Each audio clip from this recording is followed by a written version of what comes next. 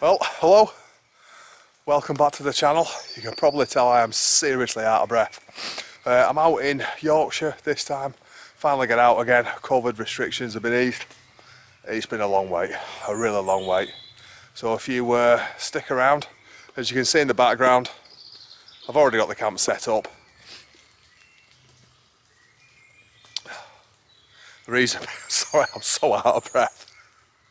If I can just show you, hang on. Right, can you see that? I don't know if you can see it on here, but that hill is really, really steep. And that leads down to where I parked. And I've had to bring all my stuff up that hill. Um, and yeah, it was a bit of a challenge. But, totally worth it. I'm here.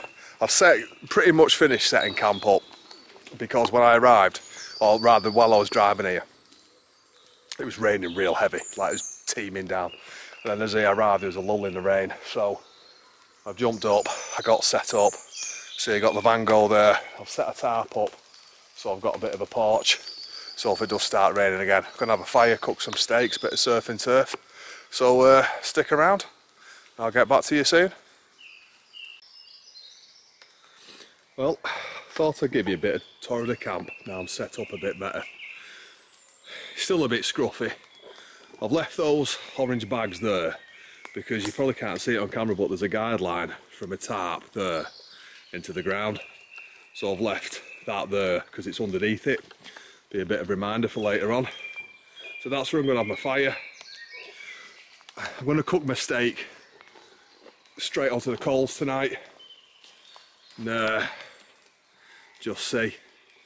Home from home. But this is my view for the evening. There's nobody else around. I've seen a deer running through the woods. Um, and you can hear some sheep in the background, but other than that, just peace and quiet. And I'll show you something. So I bought a few beers with me, as you know that I always do. Um, the usual Old Speckled Hen, it's my favourite. but I stopped at a shop on the way up here for a brew and I found this. Right, where's it gone? Hang on. Oh no, where the hell have I put it? Ah, there we go, sorry. I put it back in the bag, that's why I couldn't find it. It's called Jackhammer. Now back in the day, and I'm talking a long time ago, Jackhammer was my uh, gamer tag on Xbox Live. So I bought that, it better be worth it because I swear to God it was like £3 a can. Um, but it's a ruthless Indian Pale Ale and uh, it's fiercely defiant and independent. Although I'm not sure whether that's the beer or the brewery. But I'm going to have this. I'm going to have a bit of a wander around and I'm getting hungry. And you can feel I think it's about half four, five o'clock, and you can feel the, the air temperature changing. Um, so yeah, I'm going to have this and a bit of a wander around, and uh, a little time to get the fire lit and do some cooking, I think. Oh yeah. Well, fire's going. Um, it's really smoky. Everything's wet. I think the uh, the wood I've kept in my garage has got a bit damp over there's been a lot of rain lately. Lately, I don't know why. By the way, that um, Jackhammer beer, really nice. Didn't realise till I finished it, it's actually seven point something percent. Slightly tuned in already. So I'll show you what I've got. I've got um, a steak. I've not done any sort of marinade, no seasoning, nothing at all like that. I'm just going to cook the steak on the fire. But what I've also got is that, which is like a, you can see it, like a seafood mix. Um, I've got some butter and a bit of garlic and what I'm going to do is uh, just mix it up, do a bit of a surf and turf. I've got a pot to do the surf and turf in, but I've forgot my uh, grill. Uh, I forgot my torch as well. But luckily I've got a backup torch that I keep in like my emergency kit. so I'll let the fire get going and then what I'm going to do, get it, let it go down to like, you know, um, to coals, put the steak straight on it, put the, uh, the seafood mix in a pot with some butter, with some garlic, and hopefully it'll be quite, I've just realised, you know what, I forgot a fork as well. Jesus. Ah well, who cares as long as you're out. and I, I'm soaking wet between the rain and sweating. I'm like my outer layer's wet from the rain and my inner layer's wet from sweating. So I need to stand by the fire for quite a while to dry out. It's like my bottom of my pants are wet, me, you know, my hoodie's wet. it was just too hot walking up and down to wear my big coat. Um, but I'll dry out near the fire. It's still, in fact, you know what? It's only, it's not even 20 past four, so I've got ages. It's, uh, just hope the rain keeps off. Alright. Well, time to chill in front of the fire for a bit. Another beer. Alright guys, so I've um don't know why. Every time I go wild camping I make the same mistake. I have a couple of beers before I get the food on. And I just end up tuned in straight away. But I've got the food in. Okay, give me a minute. I'll adjust the camera and then I'll show you.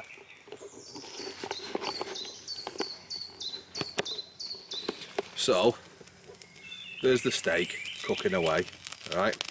Now in there, got seafood with melted butter and garlic, it smells amazing. Don't know what it's going to turn out like, like I say, I forgot the grill that I usually cook with. It's Oh, just hang on. truth be told, the last sort of two weeks, they've pushed me to my limit. As a man, they've pushed me to my limit. It's just been one thing after another. and I managed to get here and it's just okay. It was almost like a race to get here, but then I was procrastinating a lot because, you know, that's what I do when I'm like really, really peed off. I'm not going to swear. I don't swear on this channel. Um, but it's just it's just been one thing after another, and I'm really really lucky. You know, I've got a job. I've got a nice house. I've, I've my other half is my best friend, and I've got three amazing kids. But you know when you there's just things that are just getting to you. They're just winding you up constantly and I've missed this, this period in time with this last COVID lockdown where you couldn't do anything, basically. You couldn't book a holiday. I mean, what is the point in working and grafting and doing everything that is required of you as a human being, as a, as a, as a man, when you can't provide your family with the basics of a holiday and days out and the rewards from graft? What's the point? You know, but anyway, got it off my chest. Feel a lot better about it. Should we look at the food again? Hang on.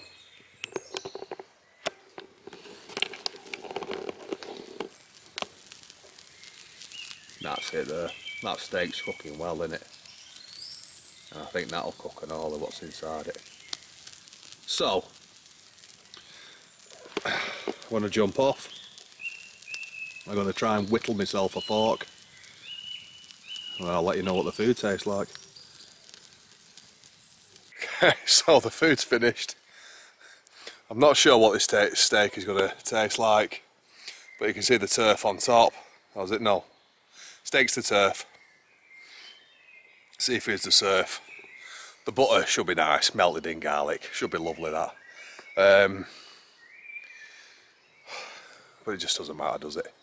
I've got some, uh, I brought a French stick with me as well to have with it. So, I'm not going to let you watch.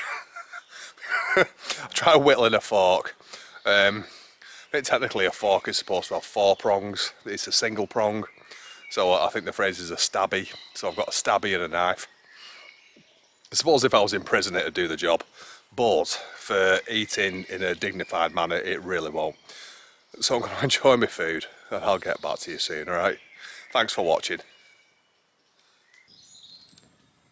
Well, I can honestly tell you that food was actually really nice. By sheer random luck, that steak was cooked just right, medium rare all the way through.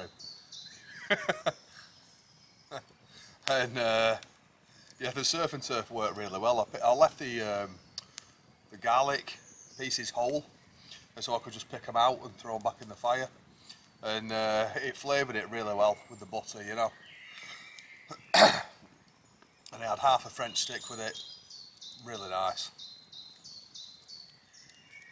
And I'm just chilling, enjoying a beer. So cheers. God, I've missed this, you know. Just missed getting out. Just a change of environment, getting into nature. You know, just phones ringing and emails and, you know, meetings and all that. There's only so much of that a person can put up with. You can't just be here to work. It's not enough. It's not enough at all. We need the we need the simple pleasures in life, you know. We need to be able to go home and say, right, tomorrow morning we're going to go out, we're going to have a nice day somewhere. You need to know that you you can enjoy life.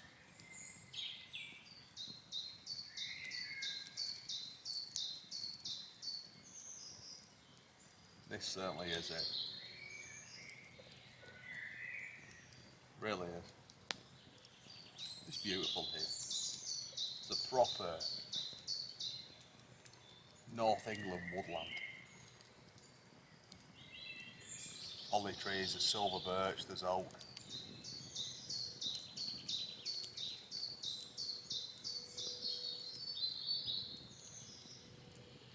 Anyway.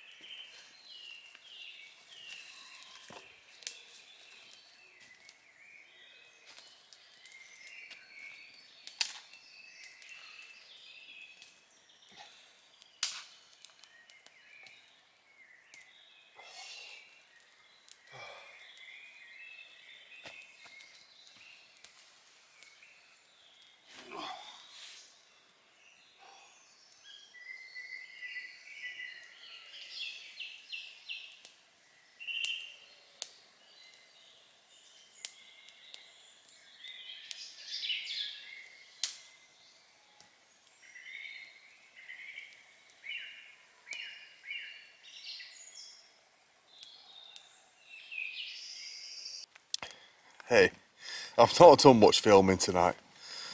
Um, truth is, I just wanted to get away and clear my head. Just, you know, get rid of some of the stress. Something nice to eat, a few beers. oh, and uh, just chill out, just relax on a level that I've not been able to do for quite a while. So, happy days. Mission accomplished, really. So, anyway, what a few beers. I'm a bit drunk. Do forgive me. But, uh, yeah, I'll see you in the morning. Well, sweet dreams. Well, and the battery's about to go. Oh, well, good morning. Oh. Good night's sleep last night. Woke up. Uh, it was about one o'clock in the morning for a pee. And it was absolutely bouncing down, raining really heavy. Oh.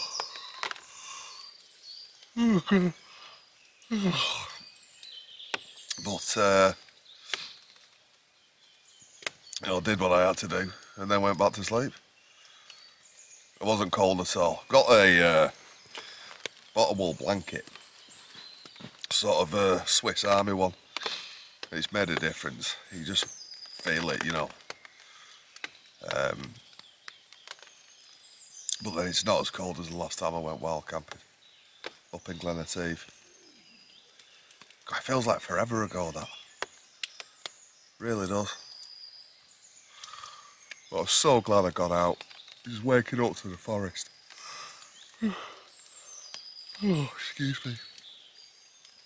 And all the noises, you just... Your mind... Well, that was a bad time for the battery to go. sorry, what was I saying? Yeah, just about how good it feels. Just getting out and de-stressing a bit and, you know, oh.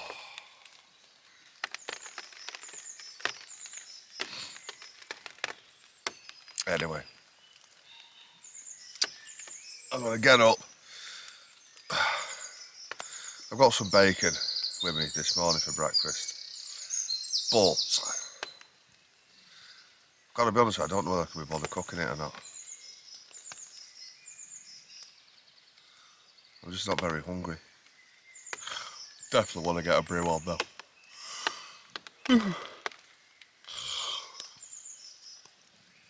right, well, I'm going to have to do something now. Can't just lie here all day. Oh, well, actually, I suppose I could actually. No, can't be more productive than that. Oh. Well, speak to you in a bit. Well, good morning. Managed to get up. I've got a brew one. And uh, thought what I'd do is give you a little bit of a tour of the campsite. Because it is really nice. So, show me around. Let's have a look. So, it is quite hilly. There's a nice little stream there. And it was up there. Can't really see how hilly it is on the camera. But it was about there I saw the deer. And to be fair, it, it saw me before I saw it. They just turned and ran. Quite a big thing though. Certainly wasn't Bambi, I can tell you that. But then, when you come back up, so there's the camp that I really, really need to learn to camp lighter. I feel like I bring everything but the kitchen sink. Brews on, sort the fire pit out, leave no trace. Bit of spare firewood to chuck around. But as you come up here, there's a spot up here that I really fancied camping under.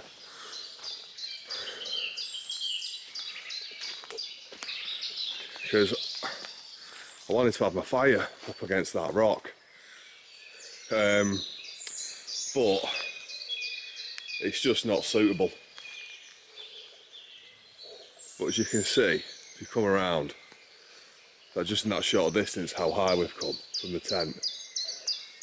It is quite, this is a proper, you know,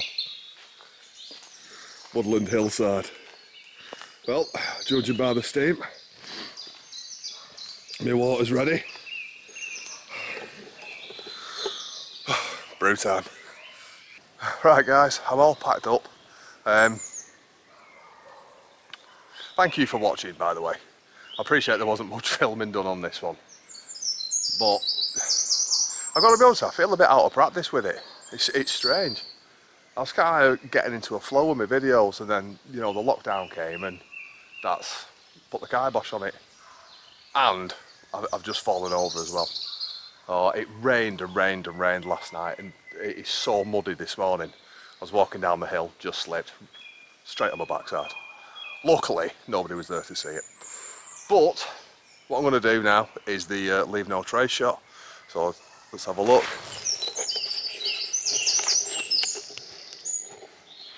So, just there, that's where the tent was, so the fire was. There are footprints in that, but it's just because it's so muddy, there's nothing I can do about that really. But I think that's pretty good for leave no trace. But one last look at this beautiful spot. It's washed away a lot of stress last night. Full 360. About to leave no trace. So, like I say, thank you for watching. Um, if you if you can like the videos and subscribe, um, I, I, would appreciate it. It's kind of, it's not sort of why I'm doing this. I just I just like doing it. I just find it a fun hobby. I like the video editing and I like putting videos on YouTube. Um, but you know, if you can, I'd much appreciate it. More people would see it. I get and, and please give me some feedback as well about you know what you you know improvements, what you'd like to see. Um, you know, within reason. Um, but yeah, but thanks for watching. Alright, take care.